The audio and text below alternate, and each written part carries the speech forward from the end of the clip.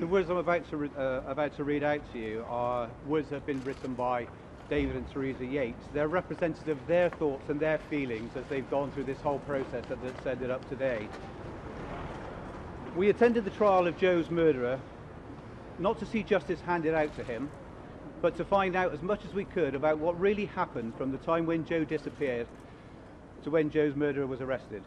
We never considered this trial as a process of justice for Jo. The last four weeks have been more stressful and intense than we ever imagined. Although we'd been made aware of the nature of much of the evidence against Jo's killer, some of the details which came out were a surprise. There was never any doubt in our mind that Jo had been murdered and that we fully expected him to lie when he went into the witness box. We came here with little hope or expectation of hearing what happened on the 17th of December, but needed to see him and to hear what he had to say firsthand.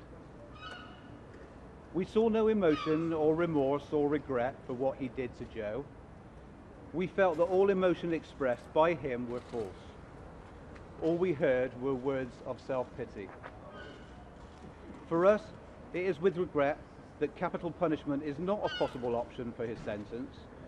The best we can hope for him is that he spends the rest of his life incarcerated, where his, his life is a living hell, being the recipient of all evils, deprivations, and degradations that th- his situation can provide.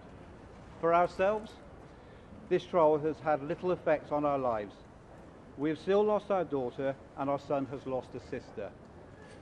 Our main sorrow is that Jo was not allowed to start her own family, have children, and achieve her potential. We will never get over our loss, how she was murdered, and the total lack of respect with which her body was treated. We so miss hearing her happy voice and seeing her living life to full.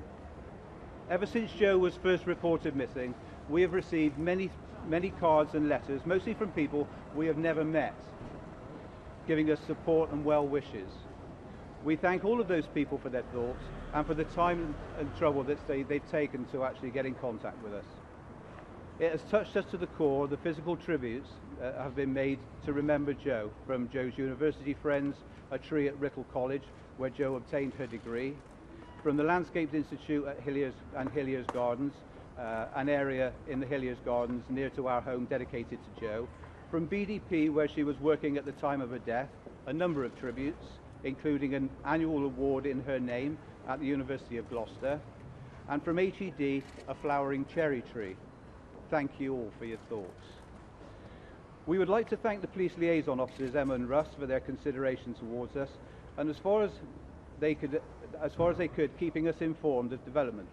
We would also like to express our appreciation to the members of Operation Braid for giving up their time, especially over the festive period, and their efforts in appreh- apprehending Jo's killer.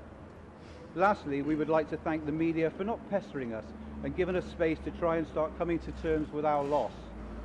We would ask you to continue to give us the same consideration and respect that you've given us since Jo, since when Jo first went missing. Thank you.